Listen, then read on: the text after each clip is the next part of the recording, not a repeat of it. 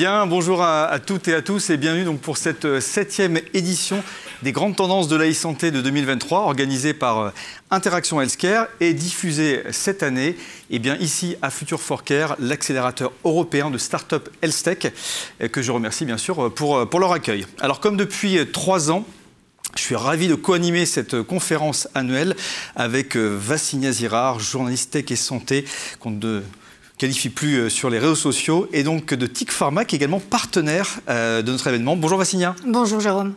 Donc ça va, prête pour cette émission? Plus que jamais. Super.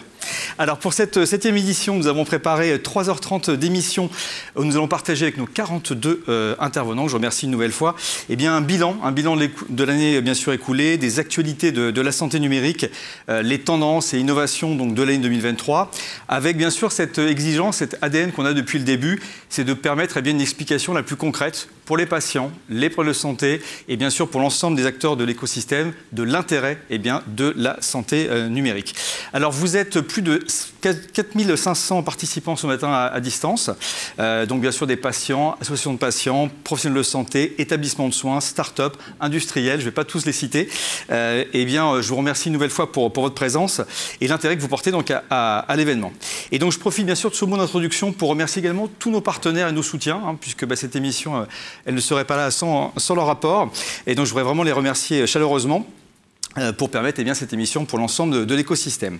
Alors Vassinia, j'ai parlé de 3h30, est-ce que vous pouvez nous donner les grandes lignes de cette matinée? Et bien sûr, nous allons revenir sur l'actualité hein, de l'écosystème de la e-santé en 2023 avec euh, plusieurs, euh, plusieurs parties. Donc, on va revenir notamment sur le déploiement continu euh, de mon espace santé, sur les actualités nombreuses autour des entrepôts de données de santé, sur la question euh, cruciale de la souveraineté numérique.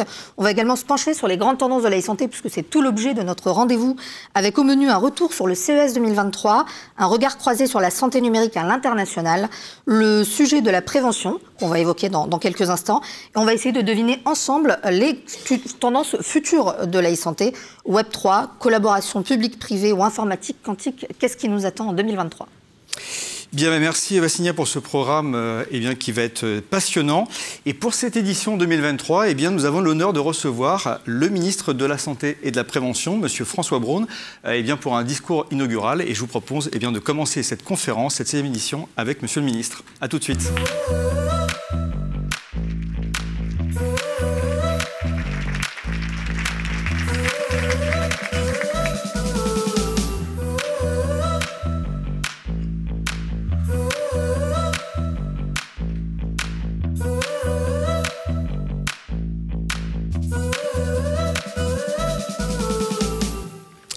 Bonjour Monsieur le Ministre. Bonjour. Et bienvenue ici donc pour la, conférence des grandes tendances de, de l'e-santé. Euh, on connaît votre intérêt eh bien, pour, la, pour la santé numérique. Euh, je sais qu'également vous êtes appétant autour de, l'IA en santé. Euh, donc c'était important eh bien, de vous avoir parmi nous pour inaugurer cette conférence, pour nous partager votre vision eh bien, de l'importance de la santé numérique pour les patients, les problèmes de santé et le système de santé. Euh, et je crois que Vassinia, vous aviez pour Monsieur le Ministre une première question. Exactement. Bonjour Monsieur le Ministre et merci pour votre présence ce matin. Alors pour la première fois, l'intitulé de votre ministère comporte le mot prévention. Euh, des actions sont menées en ce sens. Euh, comment comptez-vous vous appuyer sur le numérique pour faire de la prévention? Est-ce que le numérique permet, permettra en tout cas de passer de l'ère du curatif à celle de la prévention? Écoutez, je le souhaite, en tout cas, et, je compte sur tous les acteurs qui sont, euh, qui sont ici aujourd'hui pour euh, justement faire ce virage vers, euh, vers la prévention. Notre système de santé est, malheureusement, mais vous le savez tous, trop orienté uniquement sur, sur le soin. Alors, on a besoin aussi du numérique pour le soin, hein, bien entendu, mais la, la capacité que, que, vous avez de traiter des masses de données extrêmement importantes, on voit bien, va nous permettre d'aller vers une médecine beaucoup plus préventive, mais également une médecine beaucoup plus prédictive, c'est-à-dire non seulement à l'échelle de la société, mais également à l'échelle de l'individu. Et, c'est ça, je pense, un des enjeux majeurs dans le champ de la prévention de, ce numérique euh, en santé. Très bien. Alors aujourd'hui, euh, on sait que la santé numérique, elle est euh, intégrée de plus en plus dans le parcours de soins. Est-ce que vous pouvez nous dire voilà, l'importance dans le système de santé de ce développement du digital? Le développement du digital, on le connaît depuis, euh, depuis quelques années, mais de façon insuffisante en fait jusqu'à présent. On voit bien que le digital et le numérique s'introduit dans nos vies de façon euh, quotidienne, voire pluriquotidienne. Au moins un téléphone, euh, voire deux, en permanence. Et, on voit bien que les, développements du numérique vont nous permettre. Finalement, l'enjeu pour moi qui est essentiel, c'est selon quelle façon le numérique va permettre de lutter contre les inégalités d'accès à la santé. C'est ça l'enjeu, l'enjeu qui est primordial. On voit bien que le, déploiement de mon espace santé répond déjà à une de ces questions, c'est-à-dire nous permet euh, d'avoir sur nous notre, notre outil, notre dossier de, santé, de pouvoir le partager, de pouvoir euh, le donner à, disposition des professionnels qui nous prendront en charge.